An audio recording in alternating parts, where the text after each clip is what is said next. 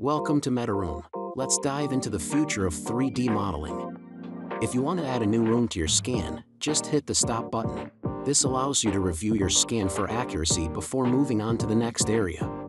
To add the next scan, press the plus. Make sure that the camera is not covered at any time, as covering it will result in the loss of crucial world tracking data necessary for the multi-room scan, even if you've pressed stop between scans remember that the tracking process will always continue. You'll always receive prompts between scans to ensure your results are accurate and to provide you with a scan overview. Once you've completed scanning all your areas or rooms, press Finish to initiate the reconstruction of your 3D model. Depending on the scan size, this process may take a few minutes. Start exploring and creating today.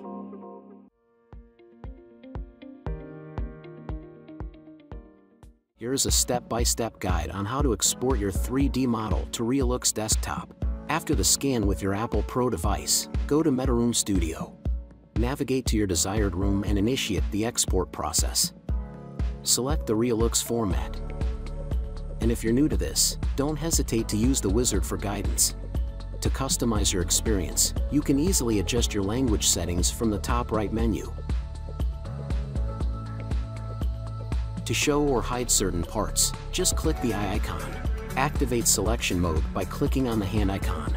To rotate the model, simply hold down the left mouse button and drag. If you want to move the model, use the right mouse button and drag the model to your preferred position. A simple left click on an object, like a wall, will select it. To deselect, click again or remove the selection from the object list. And for zooming in or out, just scroll the mouse wheel.